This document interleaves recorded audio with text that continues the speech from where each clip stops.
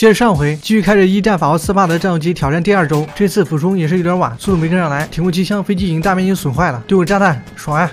挺住啊，我的小飞机！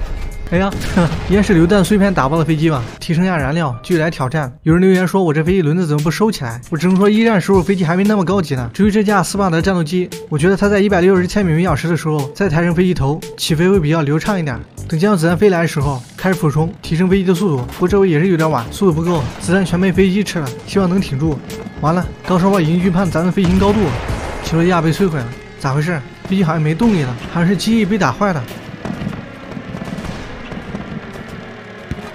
就算嗝屁，也要拉俩高射炮垫背啊！毕竟咱们摧毁敌人越多，得到金币也越多。飞机总不扛揍，所以就来升级下油箱的护甲，还有这个飞机的机身护甲。就是感知到第一波机枪，立马俯冲，利用重力加速。为了能够高速飞过高射炮群，只要三百以上的速度，一般炮弹都能躲过去。武器被榴弹碎片打坏了，不慌，反正咱们一般也不怎么打人。现在利用飞机引擎加速，虽然会多消耗一些燃油，但保命要紧。被探照灯照着，那些子弹就像那长的眼睛。前面还有高射炮呢，开始继续俯冲加速，希望能安全躲过去。至于后边就太平多了，就这样小心零星的黑枪就行了。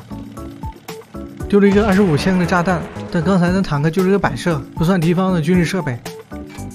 前面还有山坡呢，为了省油，我压低了油门，但显然还是不够呀，燃料耗尽了。